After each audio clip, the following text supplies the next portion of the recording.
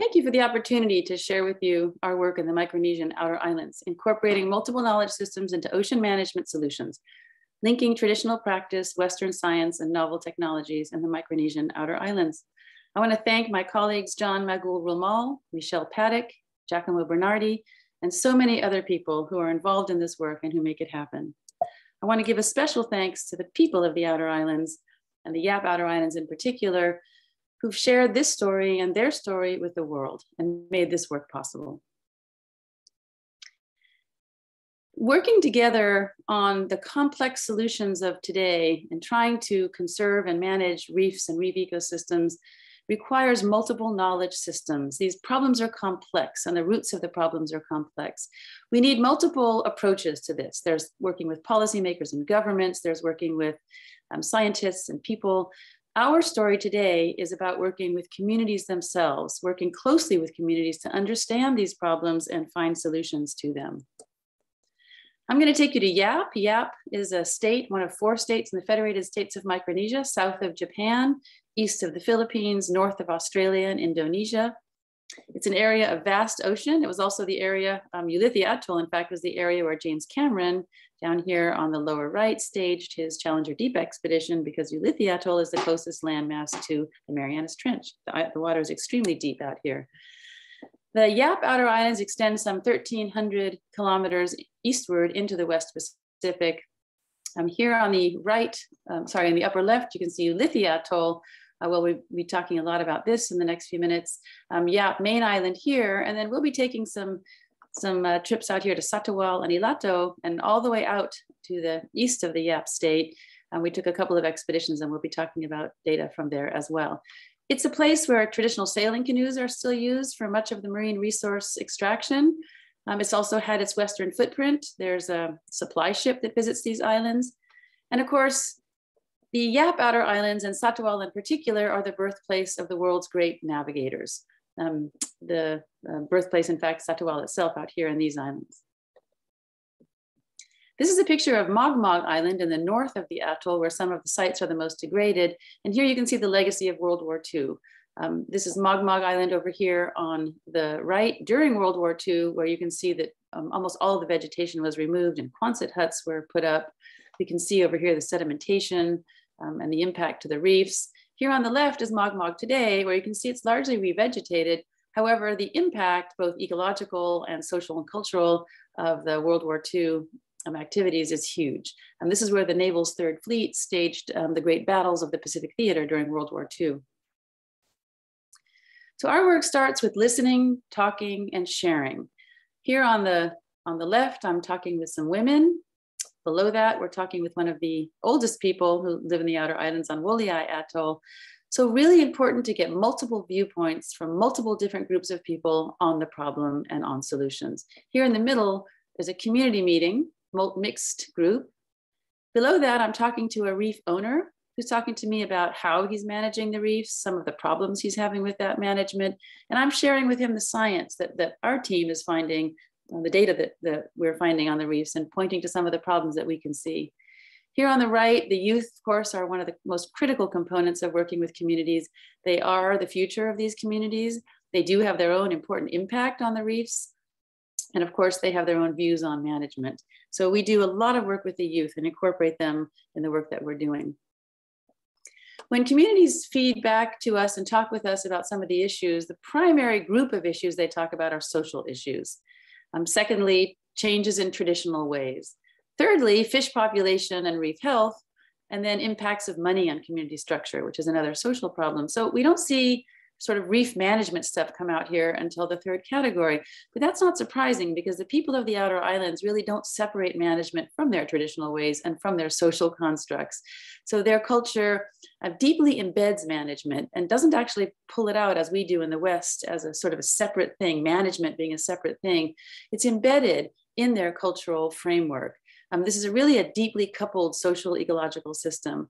So once we understand that, we understand that we really need to, under, to, to work at all different levels um, within the community. We took a lot of the information that we were hearing and worked with people to develop a storytelling project with funding from National Geographic.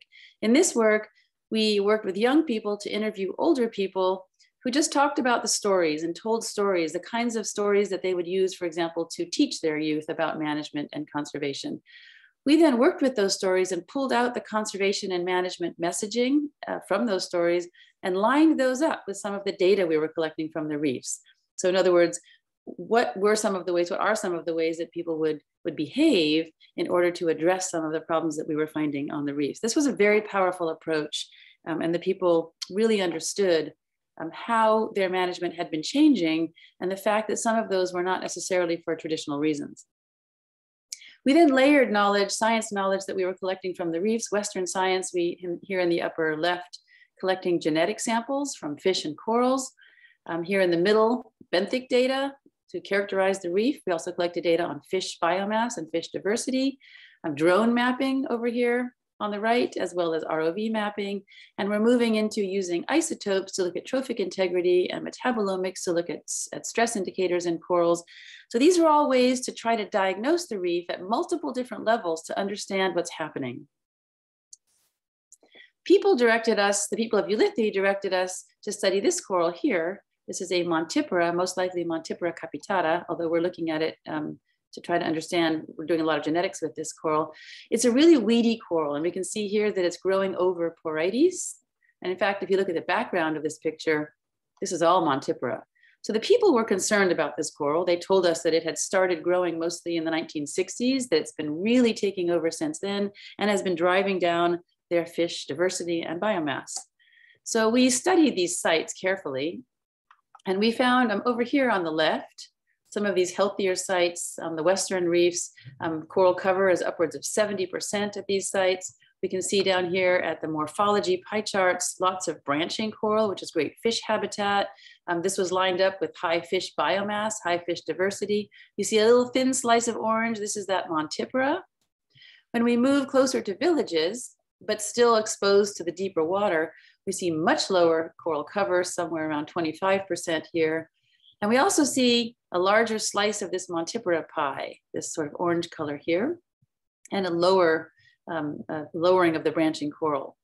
Um, once we move to those degraded sites near Mogmog and in the northern part of the atoll inside the lagoon where water flow is lower, water temperatures are higher, and it's shallower, we see the Montipora really finding its place and just starting to take over this large orange section here of this pie chart.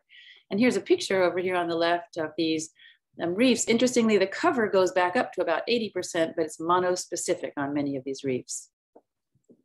This lines up with the fish data, fish biomass much higher on these healthier reefs on the west, much lower in the lagoonal reefs. Um, fish diversity followed a very, very similar pattern.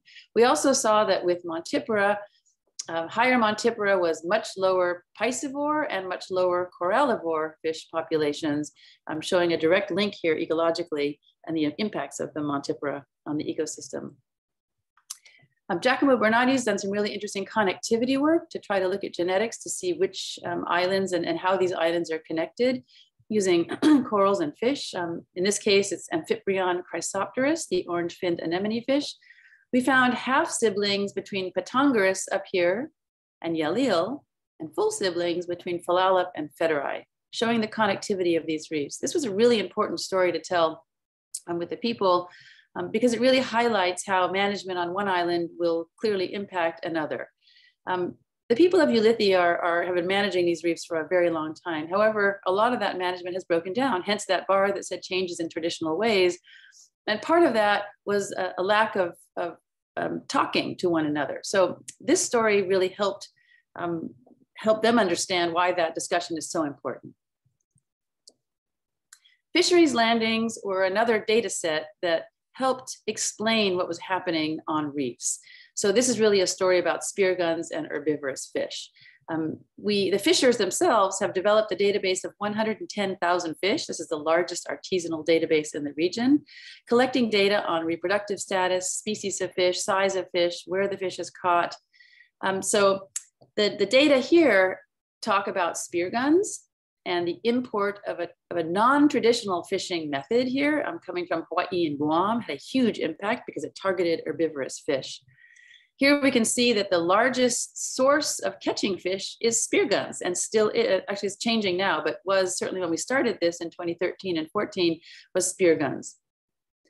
And the spear guns were targeting here in the middle, this uh, set of red here, these are Ulithian names, but these are all the herbivorous fish. These are the acanthurids, these are the parrotfish, um, these are the rabbit fish. So the spear guns are targeting these herbivorous fish whose role on reefs we know is so important in maintaining coral settlement, for example, substrate. So this explains a lot of the degradation we were seeing on some of the reefs where spearing is um, really intensive.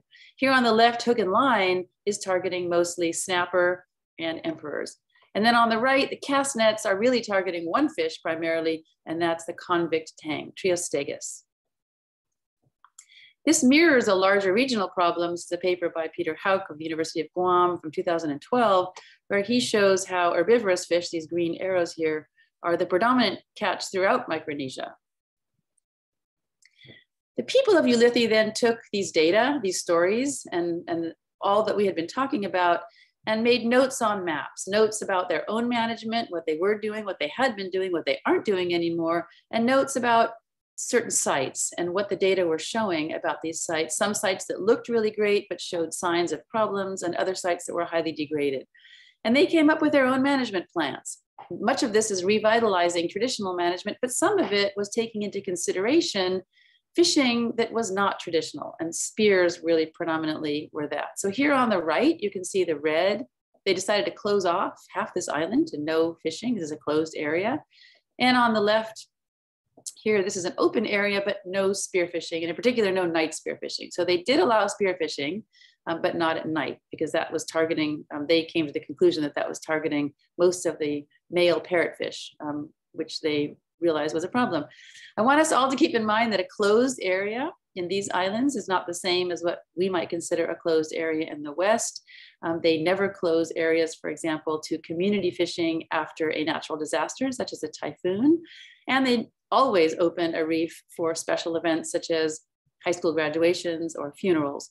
So closed uh, does not necessarily mean closed in the way we think of closed.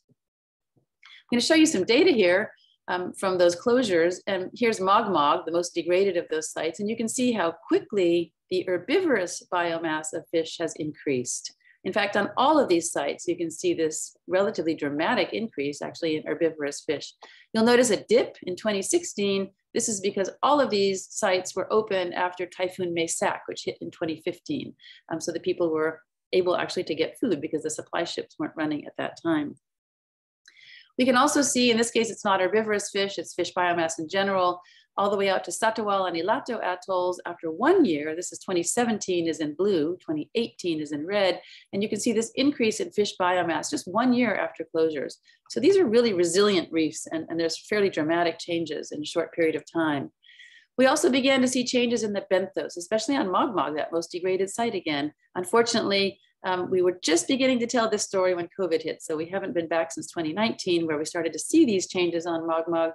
Um, uh, more species of Acropora were showing up and Montipora was being held at bay and, and not spreading at the same rates as in some of the other sites. Herbivorous fish had rebounded and we began to see um, Oxymonacanthus longirostris, which is a coral dependent fish. We had never seen this on the reefs there and the people had told us that they hadn't seen it in many, many years. So these are exciting changes.